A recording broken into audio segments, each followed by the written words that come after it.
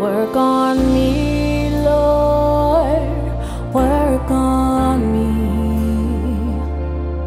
Work on me, Lord. Work on me. This is my cry. Speak to me, Jesus. This is my cry. Speak to me, Jesus.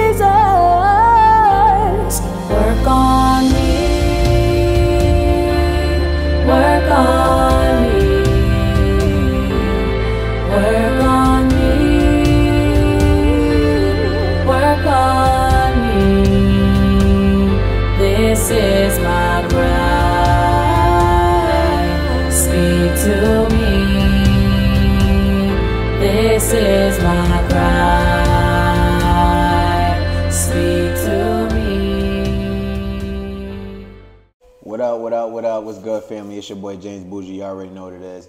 I'm back with another video, back with another podcast on the Keep It Buji podcast. Today I got my brother Drexel. I am super excited for this young man.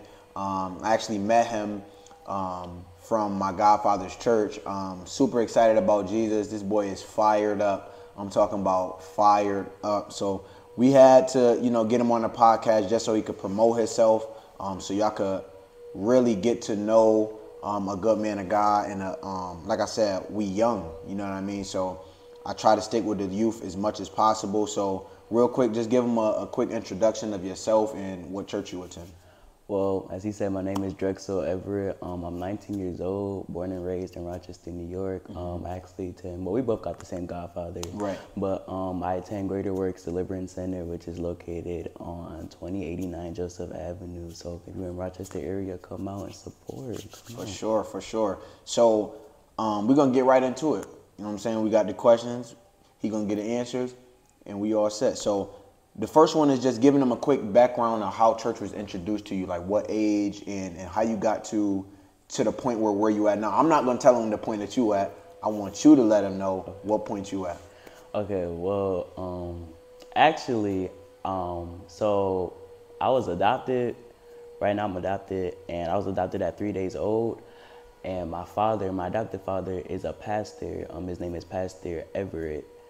And since then, um, I've been with him, been with the family. So that's how really I was introduced in church. Like the day I came home to be with my adopted family, I was in church that same day. So like literally, church has been all my life. And so um, I know that that was of God because the way that He orchestrated everything to where I am now, it was just miraculous.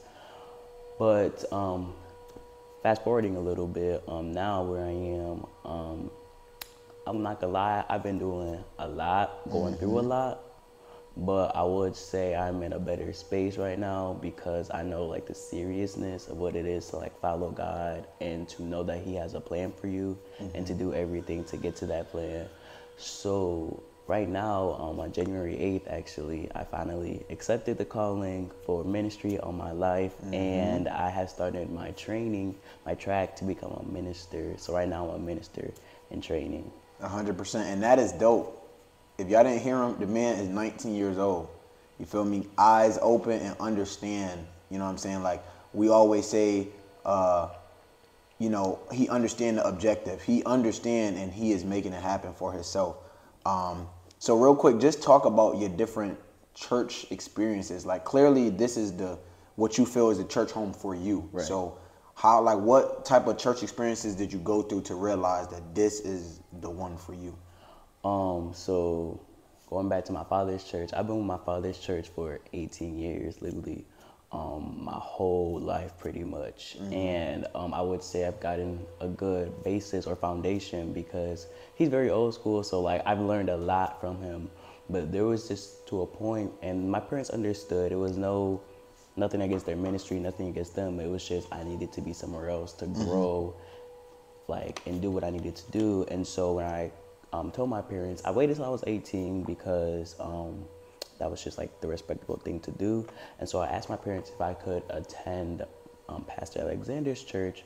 We were at the former ministry True Light at the time because I saw that there was room where I could grow there exponentially and seeing that and like there was like youth there a lot of youth there who was like on fire for god and that's what really attracted me to go to his church and so i would say that was one of the best decisions i really made because i'm starting to see well i've been seeing clearly the fruit of my decision Right, hundred percent. So, and I can I can back them up on that. Uh, I have everybody know my home church where I was raised, Holy Light Church of God, very very old school.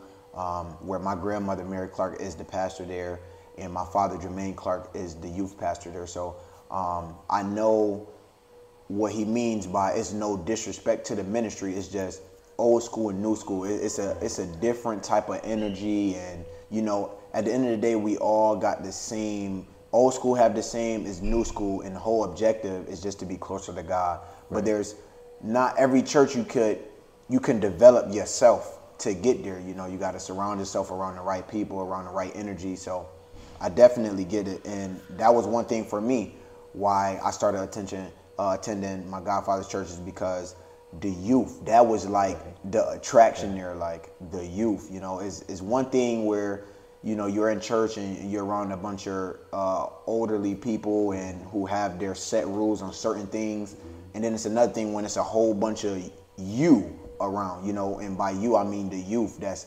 active and fired up about you know building themselves and getting closer to God. So I definitely feel him on that one. So this I'm it, this next part I'm really excited to talk about because y'all know me. Y'all know how I get in that studio.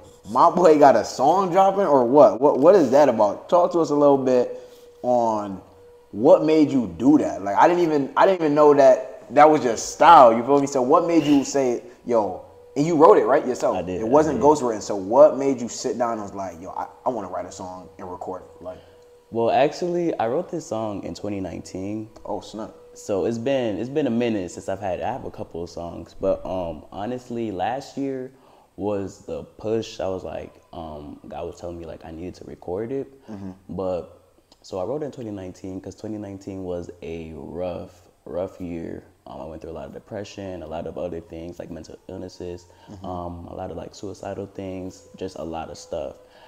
But what I didn't realize was 2019, even though it was perceived to be like my worst year, it produced like my best work because I produced like a lot of things, like messages. Um, I spoke on New Year's, um, Prepare for Purpose. That was written in 2019. This song's coming out on January 29, tomorrow, um, 2019. And so basically, um, like the starting words, the starting song, the words are I see your pain, I see your hurting, I see your tears, stuff like that. And that was pretty much God talking to me saying like I see you're hurting, but then the chorus comes and it says just know this is your time, this is your season, and this is your breakthrough. So just have faith, everything will be alright.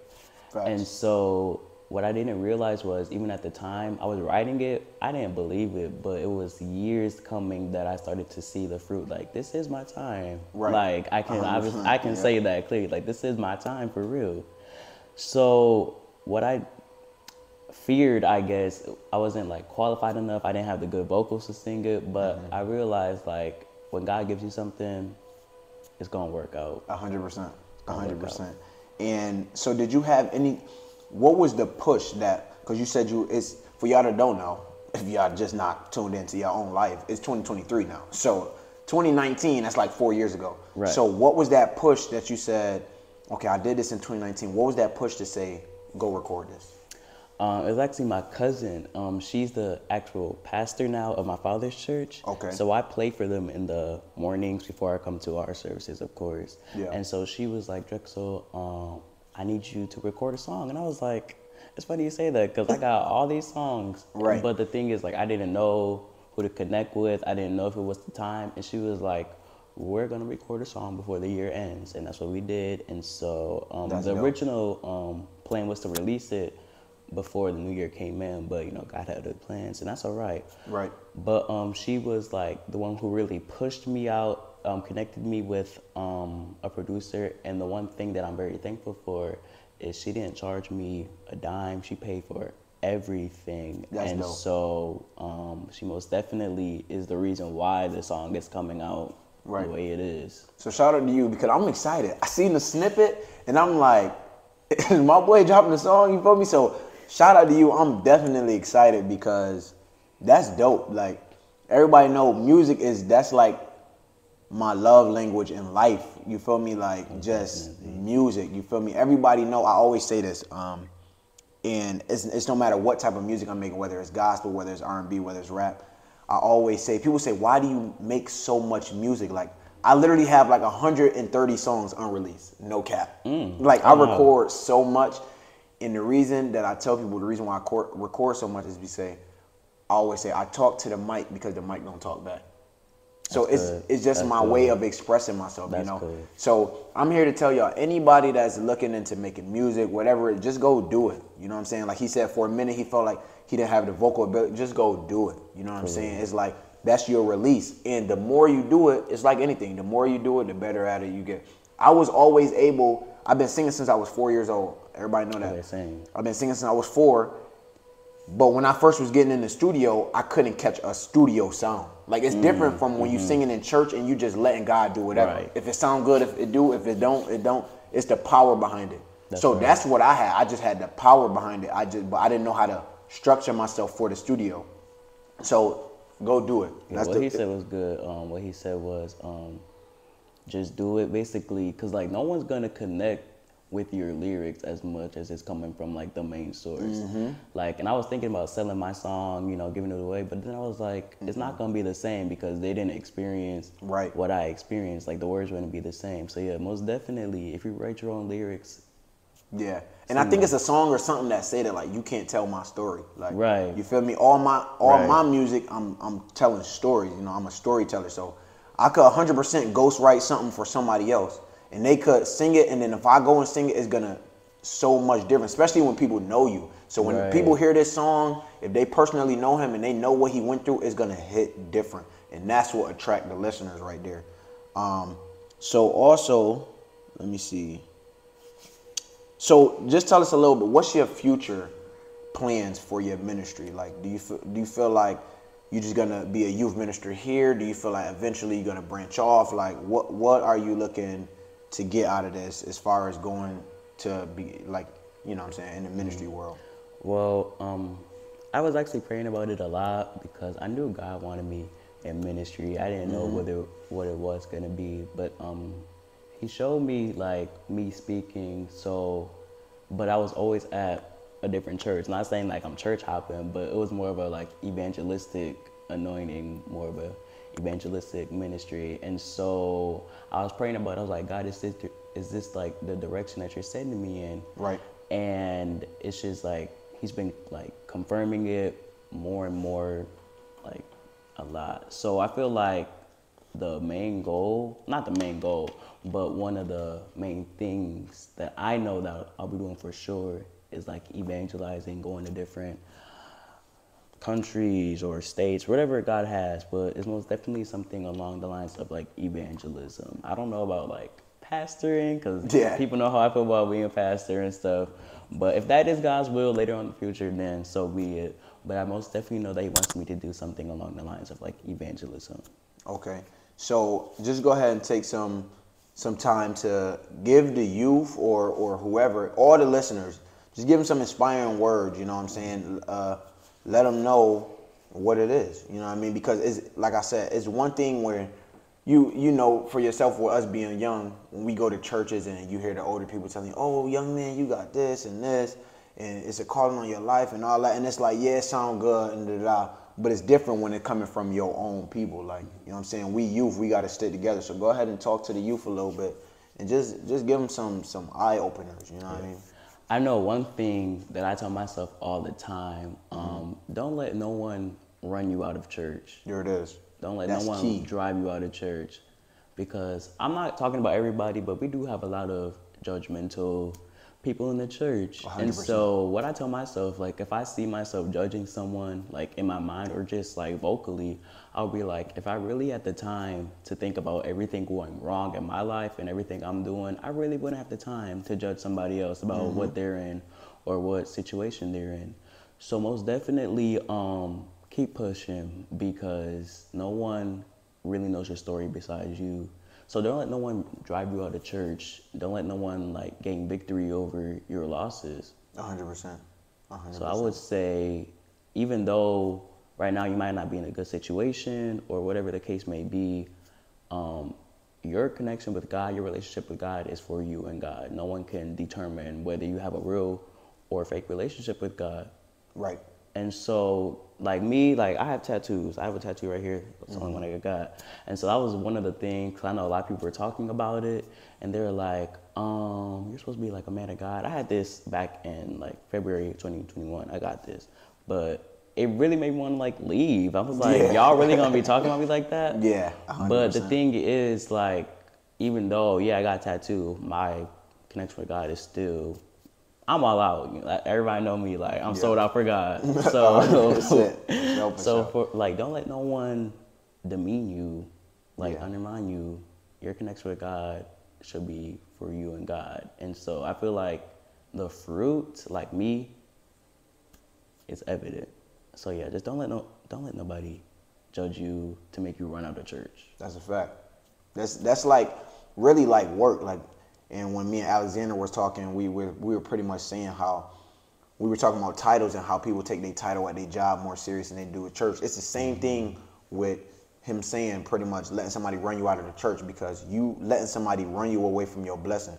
You're not gonna be at work and just let somebody run you away and you quit your job. Like you're not gonna do that because at the end of the day, the goal is to make that money. You know what I'm saying? The goal at church is to get that that blessing, get what you need to get closer to God. So don't do that. Another thing that I like what he said is um, if he was thinking more so about what he got going on, you feel me? He won't have time to think about. And it's a saying that that uh, my dad used to always say when I was younger is sweep around your own front door before you try to sweep around mine. Right. We got to take that into consideration and do it ourselves. Like if we focus on us, and I think Alexander actually preached about this like a, a little while ago.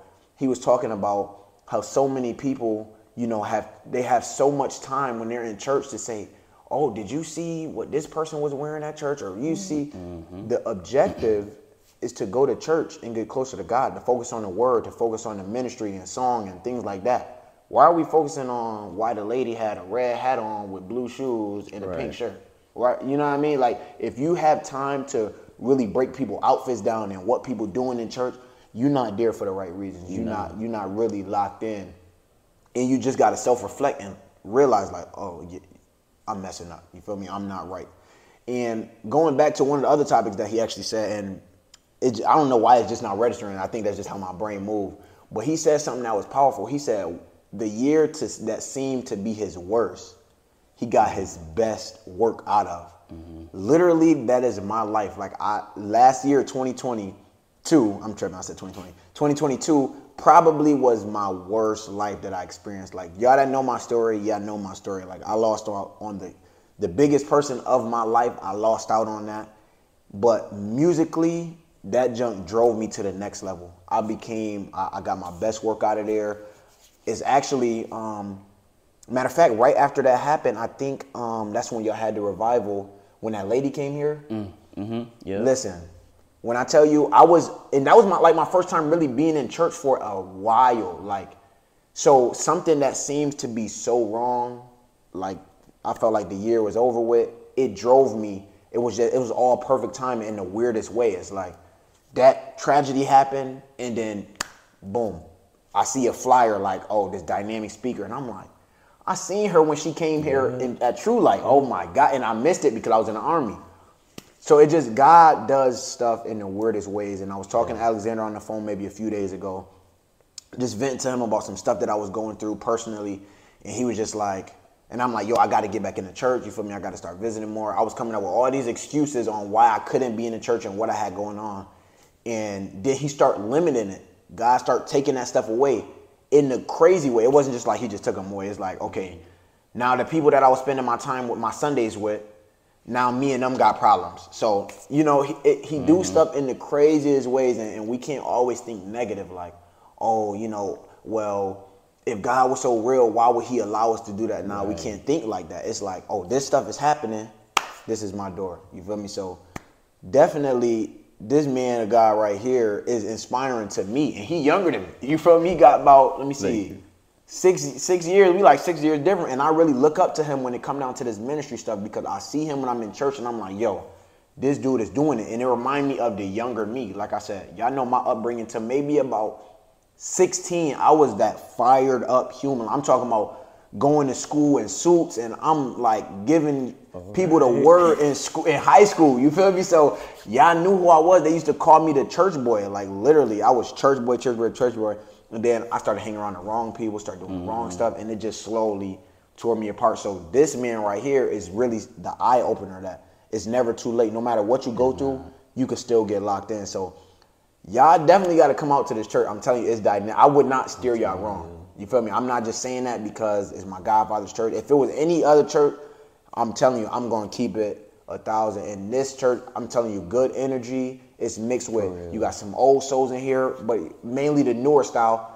But he has the the older school principles, like the knowledge and the training, like and with just like a newer school flow to keep you engaged, you know, and and also like he said, um, I know y'all seen the uh, the podcast that I did with Pastor Alexander, is they have the the live too. So if you guys can't make it out, you know, just tune in. So definitely y'all stay tuned, man. Um, let them know where they could get your song from because it's dropping tomorrow. Yeah. So let them know where they so can find that at. it should be on Apple Music, Okay. um, Spotify, YouTube Music, eh, you know the main platforms. Um, I'm even gonna put it on SoundCloud. I don't even use SoundCloud. Facts. But I'm putting on everything. So like, Yeah. yeah, So ain't no excuse. For real. So, y'all better go out and get it. You know what I'm saying? Ain't no excuse. Go out and get it. I'm definitely tuned in. Soon as it drop, boom, I'm clicking the link because I got Apple Music. So I'm definitely gonna be tuning in. Like I said, I'm fired up to hear this. Um, and and it's going up. So I want y'all to come out and do you have anything going on? Like, are you speaking anytime soon or anything that they should be, or you not? You're not really sure? I'm mm, well speaking no, but I will be having like a release celebration type concert thing happening in February.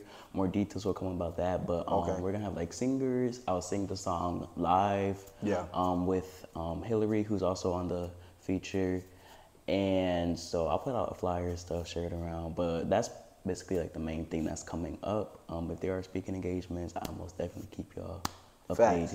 So make sure y'all staying tuned in because definitely when that drop, I'm gonna throw that on the YouTube channel uh, with this this release uh, situation because I'm hyped. Y'all don't understand. Like when I see youth, like especially the real youth. I'm not talking about this fake stuff that's going on. When I see the real, I'm I'm 100% locked in with support. Like y'all know how I am about support. I support everybody, but when it's something serious, I'm locked in. So once he dropped that, y'all gonna be uh y'all gonna be locked in. Also, I have a song that I just recorded like maybe two three days ago. you feel me? And yeah. that's actually if y'all didn't already see the podcast with me and um, Pastor Alexander, the intro song that I use for that that's the new song. It's called "Lift Me Up."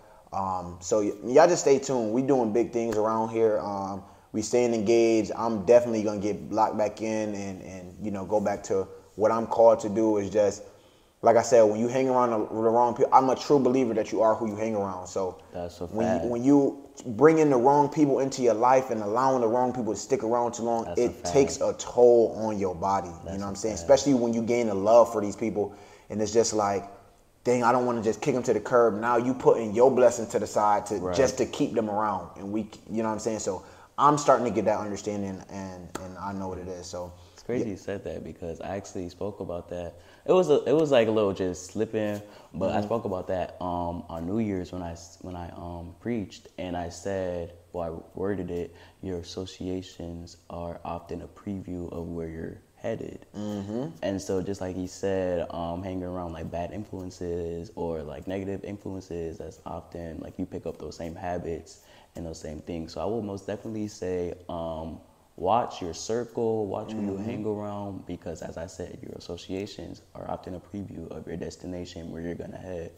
So Yeah, I like that. Most definitely That's watch your circle. That's- Most definitely watch your circle. Yeah. So, hey, I appreciate you. Um, and, and it's time we're gonna do. Uh, I'm gonna let you do a quick prayer for them. Okay. And then um, I'm gonna do my outro, and then we're gonna head out of here. So, right. thank y'all for tuning in. All right, so Father, um, in the name of Jesus, Lord, we thank you for bringing us here to do this podcast, Lord. I pray that somebody is encouraged um, by our words, by our discussion. Um, I pray that with my song releasing soon, that it will touch and pierce people's hearts, Lord. Save lost souls, Lord. Do the work that needs to be done. Um, I pray that you will just keep us and let us grow even the more, Lord. People watching, let them grow even the more. Lord, and we just pray that you will just send revival in our city and our nation, Lord, and we just thank you for what you're about to do. In Jesus' name I pray. Amen. Amen. So, uh, once again, thank you guys for tuning in. Make sure you like, comment, subscribe to this video. Um, go ahead and click the notification bell so you can get every single notification as soon as I drop videos. And also hit the notification bell because, like I said, my boy dropped what he got going on, I want y'all to be tuned in. So, thank y'all for watching. Catch y'all in the next video. Just have faith, everything will be alright.